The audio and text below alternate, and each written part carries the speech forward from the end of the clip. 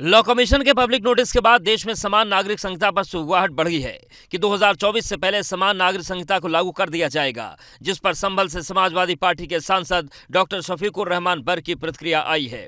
बर्ग समान नागरिक संहिता कानून का विरोध करते रहे हैं और इसका विरोध जारी रहेगा। ये इसमें मजहबी आदमी के कानून को सियासत नहीं बनाना चाहिए।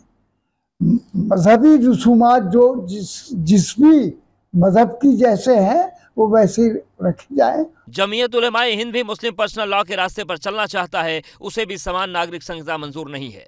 आपका सिर्फ़ एक एजेंडा है क्योंकि आपके पास कुछ भी करने के लिए नहीं है। हालाँकि मुस्लिम नेताओं के बड़े विरोध के बीच यूपी इस्लामी बोर्ड ने यूनिफॉर्म सिविल कोड का स्वागत किया है। ये तो लाजमी बात है कि सरकार सारे धर्म के आस्था का ख्याल रखेगी और ख्याल रखकर ही ये कानून लाएगी। भाजपा नेता मुख्तार अब्बास नकवी ने साफ़ किया है कि यूनिफॉर्म सिविल कोड का किसी धर्म से कोई लेना देना नहीं है।